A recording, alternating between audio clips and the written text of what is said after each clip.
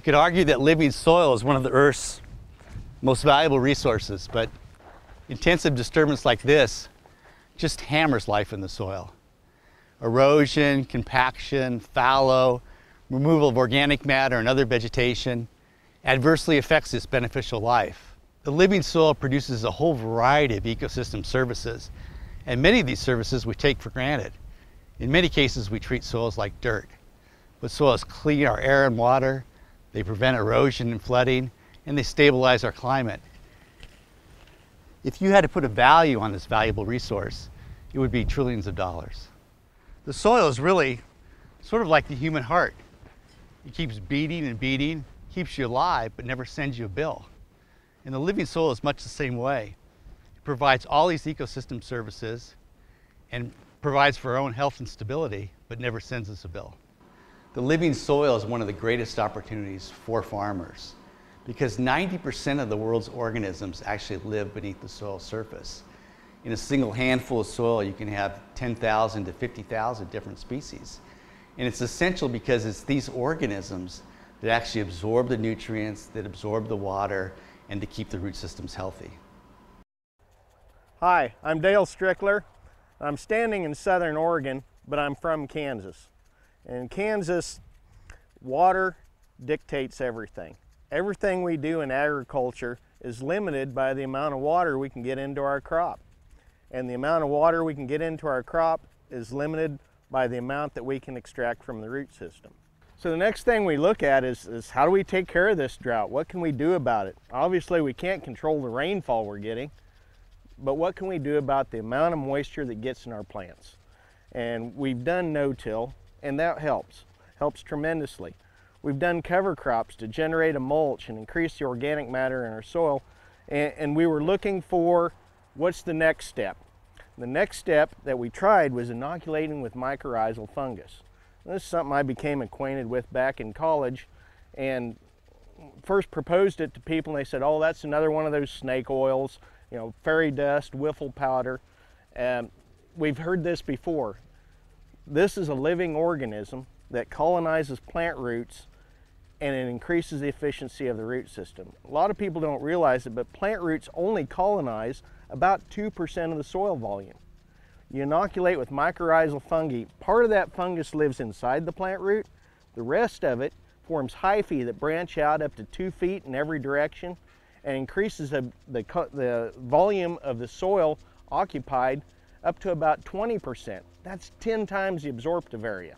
So you can extract a greater percentage of the moisture that's in the soil. And one time I, was, I bought a used four-wheeler and uh, I kept running out of gas. And I had to walk and I, I was walking along the road and the farmer who sold me the four-wheeler uh, said, you ran out of gas? I go, yeah. He said, why didn't you just flip the switch for the emergency gas tank? Mycorrhizae allow you to tap into the emergency gas tank in your soil. Said there's water in there that we never utilize without the mycorrhizal fungi. And being able to tap into that emergency gas tank can buy us two, three extra weeks to catch that next rain. Hi, my name is John Andreas. I am uh, actually from the San Joaquin Valley in California. That's not where I am right now, but, but here I am beautiful part of Oregon. And the reason I'm here is to promote an idea, a thought. Some would say a notion, but something that I know works because I have firsthand experience. My experience is in the desert soils of California.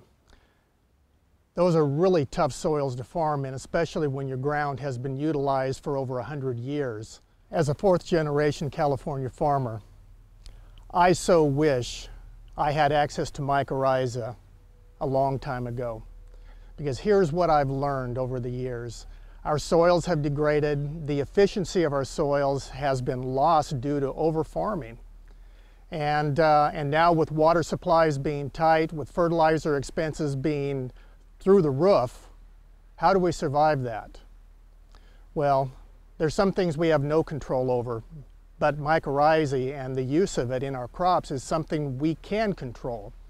And for a minor investment, particularly in permanent crops, which uh, is most of my experience, we can go a long way toward mitigating these deficiencies that we're dealing with in California soils. Hello, my name is Bill Gasser. I'm a crop consultant in the Klamath-Tule Lake basins of uh, Southern Oregon, Northern California. My focus and my passion is, as a crop consultant is about the uh, growing world we have. And with that, uh, we incorporate the mycorrhizae fungi into uh, every commodity we grow in the basin if uh, we can. One of them that's right behind me is our alfalfa. Alfalfa in the basin is typically in for six to eight years on an average lifespan.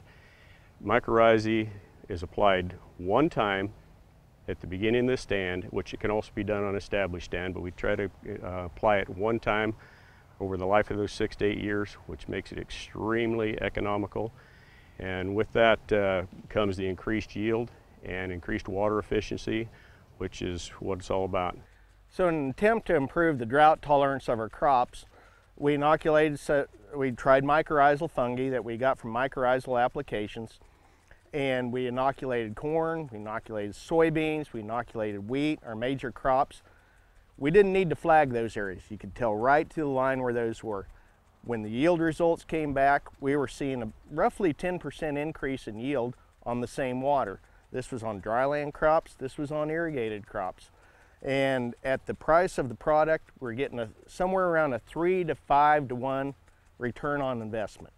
And that's huge in our area. I mean, that makes for over a thousand acre farm, that's many thousands of dollars. The improved efficiency that I see when mycorrhiza is used is something I wish I had years ago when we were farming. When, when times are really tough, when water is short, when fertilizer costs are soaring, when your commodity prices are, are making it impossible to farm, this is the advantage I wish I had. Today's science is, is such that it has brought us a wonderful product that you can count on being shelf stable, that it is usable, user friendly, and one that I know works because of my firsthand experiences with it. Mycorrhizal fungi are tiny absorptive threads in the soil, and they're attached to the roots of the plants. And they grow out from the plant roots and they're forage in the soil for moisture and nutrients. So to get them established on a crop, we have to use the spores, which are the seeds of the mycorrhizal fungi. Agriculture is getting back to its roots and rediscovering the living soil. Key members of this living soil are mycorrhizal fungi. Unfortunately, certain farm practices over time have reduced or eliminated mycorrhizal fungi from agricultural soils. So, how do you return them after they have been lost? Well, the seeds of these fungi, called spores, are placed near roots. And active roots cause the spores to germinate and penetrate into the root system. Mycorrhizae form structures where both the plant and the beneficial fungus can exchange food and energy. These mycorrhizal filaments radiate out into the surrounding soil and form an elaborate web of tiny absorbent threads. These access nutrients and water that are tightly held onto soil particles. The fungus transports nutrients and water back to the plant to fuel its growth. And like a cotton ball, this extension of mycorrhizal threads efficiently absorbs fertilizer. This reduces nutrient loss and pollution of groundwater, lakes, and streams. The spores germinate, attach to the roots, radiate out into the surrounding soil, and they create like a cotton ball. And that cotton ball absorbs the important soil nutrients and water and then translocates it back to the plant the way mycorrhiza is able to uh, capitalize on these nutrients in the soil is through the use of, a, of, enzymes and compounds that are excreted from the actual hyphae of the, of the organism. That in conjunction with other uh, organisms in the soil actually mine it and return nutrients to the plant to, uh, take, to actually supply the nutrients that are required. In my own experiences in California soils, um, particularly on almonds, which is what I farm, um, almonds are voracious plants, require a lot of NPK and micronutrients for, for good health and, and production. And, um, and though mycorrhiza doesn't find everything it needs in our California soil, it makes our fertilizer much, much more efficient. I have an example of a tomato here that uh, has been inoculated with mycorrhizal fungi. Uh, as you see, these tomatoes behind us are vigorous, they're healthy. Tomatoes are a huge user of phosphorus, as many crops are, and uh, California especially has uh, huge deficiency problems in, in the middle of these desert soils. It's a struggle we have every day trying to meet the demands of a crop. And not just uh, phosphorus, but zinc and many other nutrients are in short supply. About 90% of the, the corn samples I've seen taken at Tassel are deficient in potassium. And the soil test says we've got plenty, so what's going on? Obviously, we're not getting the nutrients out of the soil and into the crop like we should. Only plant roots only occupy about 2% of the soil volume. Mycorrhizal inoculated roots with their hyphae can occupy about 20% of the soil volume. That's 10 times more absorptive capacity to get the nutrients out of the soil and into the plant where it does some good on yield. And if we can get more yield with the same amount of fertilizer, that's a lot more profitable, that's a lot more environmentally sound. As far as my personal experience with the uh, commodities in our basin, one of the uh, great stories that I've been able to share with uh, customers is the first use we had of mycorrhizae on our onions.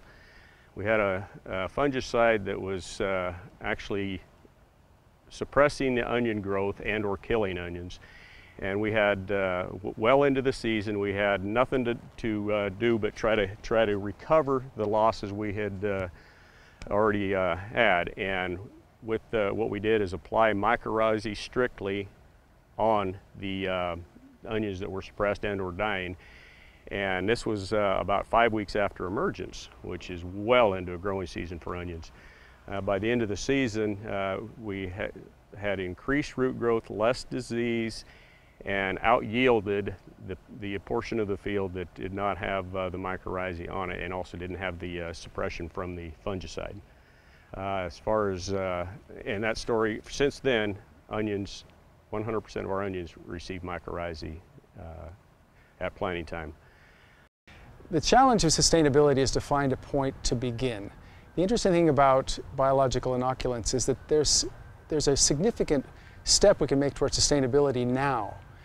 Biological inoculants can be used in conventional agribusiness and can bring us increased yields, reduce the amount of fertilizers, water usage. It can take us a big step towards sustainability now in the current situation because the problem is that often people think we've either got to change the whole system and they demonize modern agribusiness or they think uh, we've got to create a completely different alternative system, maybe small scale agriculture, or maybe we simply tweak the existing system. But this is a way to make a significant step now. The biofertility industry is no longer a cottage industry. Uh, we've had to continue to expand our operations here at Mycorrhizal Applications to keep up with the demand. Uh, globally, the biofertility industry is between 500 million and a billion dollars annually, so it's increased dramatically in recent years.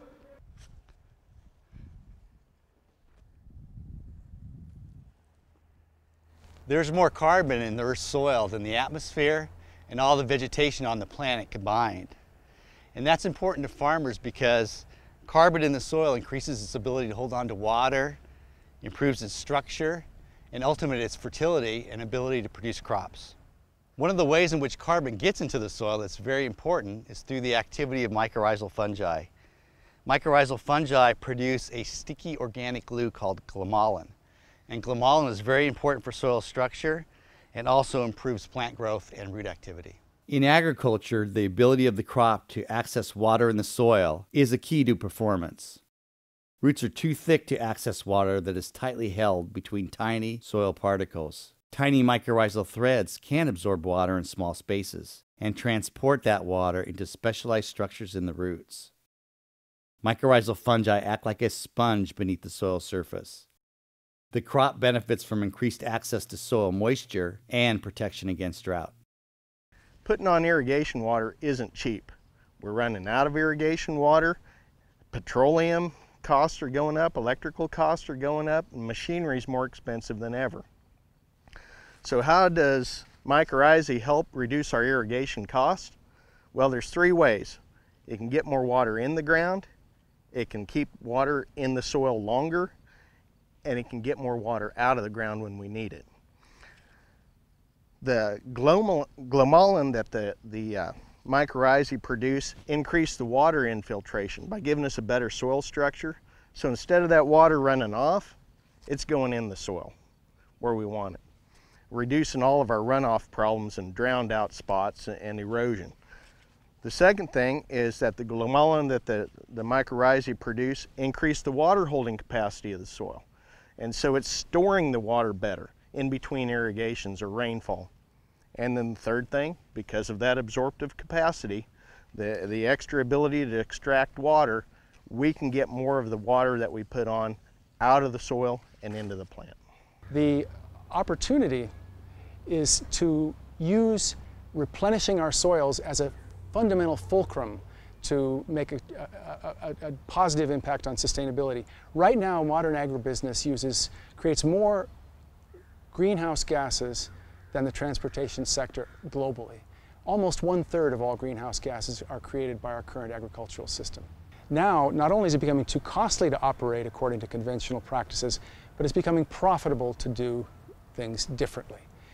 Right now, biological inoculants, because of advances in production technology, we're able to take any current conventional practice, agricultural practice, and increase yields 5 to 20 percent. That's worth billions of dollars. So there's nothing holding us back now from taking that step. We don't have to wait for anything to change. It can be done now, and that would be a step toward transitioning toward a long-term sustainable system based on healthy soil. Science is teaching us that our own human bodies are part of a microbiome, in that we have microbial cells and human cells that work together. In fact, there are 10 microbial cells for every human cell. And they do some very important things for humans. They regulate our body, they digest our food, and they keep away deadly pathogens. So why are we so surprised that plants also depend upon microbes for their own health and productivity? If you ask somebody about biological agriculture a little over a century ago, they wouldn't know what you're talking about because all agriculture was biological agriculture. It's now only in the last century that with the advent of the internal combustion engine, the cheap and affor affordable production of fertilizers that we've shifted away from a practice that's sustained humankind for centuries, for millennia.